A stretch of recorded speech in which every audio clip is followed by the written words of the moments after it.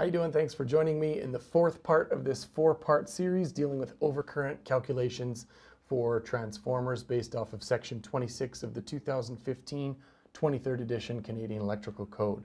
In previous videos, we've gone through, especially the third video, we looked at primary protection only on an other than dry type transformer under 750 volts.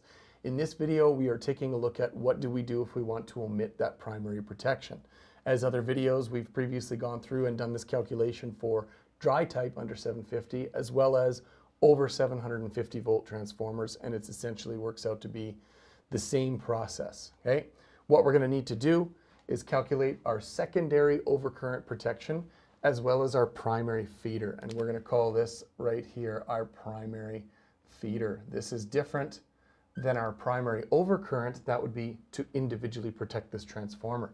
This primary feeder may have other loads coming off of it as well that it's protecting, but this is the rule that deals with how big does this have to be, or rather, what is the maximum size this can be in order to omit this primary individual protection.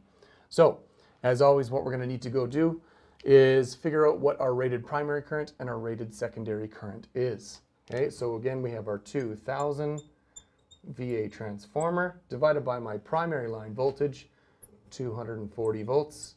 This is a single phase transformer, so I do not need to use root 3 as a multiplier. And I end up with current on the primary of 8.33 amps. Because we're going to need to calculate the secondary overcurrent, we need to find out what the secondary rated current is as well.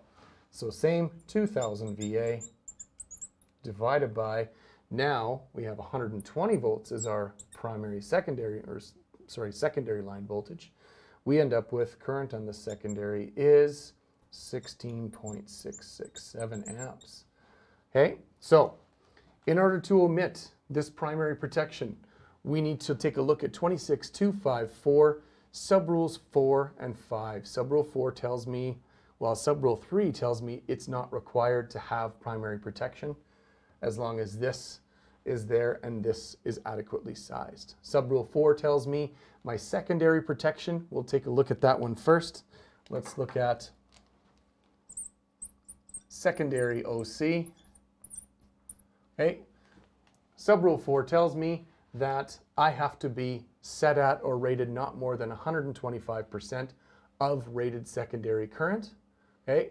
But if I read on to subrule 5, it says where 125% is not available for over 9 amps. If your rated secondary current is over 9 amps and 125% of that secondary current is not available, you're allowed to go up to the next size. So as in the previous video, let's kind of break this down for ourselves. If it's 9 amps or more, according to 26254 subrule 4, it tells me multiply by 1.25, go up by overcurrent. Okay?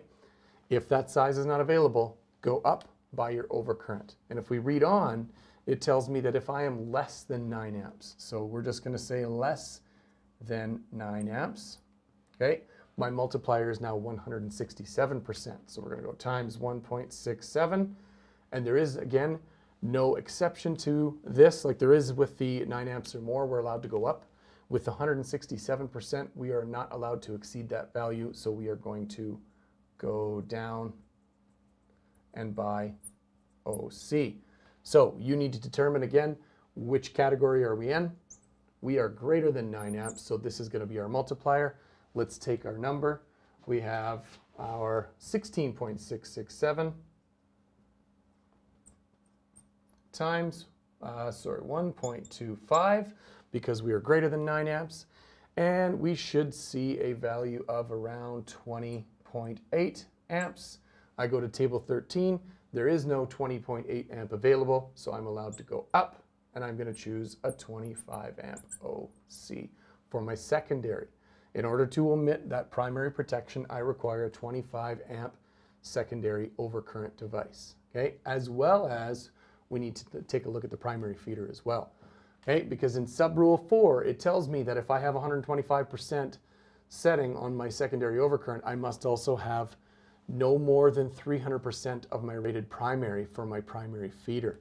Okay, so there's no exception to that. It doesn't say you can go up or anything like that. So we're going to take that primary rated current of 8.3 amps and we're going to multiply it by the 300% given. Gives us, and I'm going to round up in this case, we're going to see 25 amps. It works out to 24.999. Let's go to 25. Okay, I know we're exceeding, but if you were to round it, would end up at 25. Okay, so what that tells me with that, I have to have a 25 amp overcurrent on my primary feeder maximum and a 25 amp overcurrent on my secondary as well in order to omit primary protection on this transformer. If these loads, for example, if there were more loads and it was exceeding 25 amps, I would actually have to put my primary protection back in. I cannot exceed that value there. So hopefully this series of videos has helped. Thank you for watching. We'll see you next time.